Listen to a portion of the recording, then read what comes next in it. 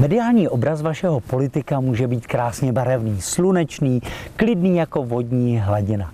Ale pozor, může jít o zaplacenou objednávku. Realita má úplně jiné barvy. Může to být jenom špička ledovce. Zjistěte si, co je pod hladinou. Taky se objevují v médiích, je to moje práce. Jednak eh, jako průkopník extrémní žurnalistiky také se známe z televizního pořadu pro kutily a zahrádkáře. I to je jenom špička ledovce. Ale ten zbytek ledovce je vidět. Už jenom proto, že voda kolem něj není kalná. Klidně se potápějte a prohlížejte můj dosavadní život.